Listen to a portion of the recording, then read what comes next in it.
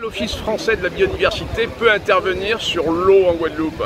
Ben Écoutez, euh, l'Office français de la biodiversité intervient sous les travaux d'investissement dans tout l'outre-mer sur l'eau potable et l'assainissement. Et c'est vrai qu'avec le plan ODOM, euh, l'Office euh, français de la biodiversité euh, a dû monter ses interventions, puisque d'habitude nous finançons les investissements à hauteur de 30%. Et là, sous l'impulsion de l'Office français de la biodiversité, des élus outre-mer, eh nous passons aujourd'hui à 80% de financement par l'Office français sur ces investissements.